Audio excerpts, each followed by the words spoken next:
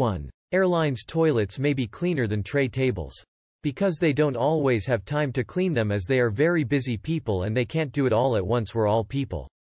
2. Aeroplanes are the safest form of travel as there are greater chances of dying in a car crash than there is dying in a plane crash. 3. If a plane crashes or has an accident you are more likely to survive at the back of the plans studies have revealed.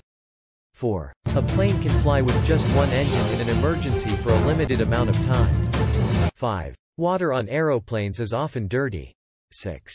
People often steal life jackets from under the plane seat so check under your seat to make sure it is there.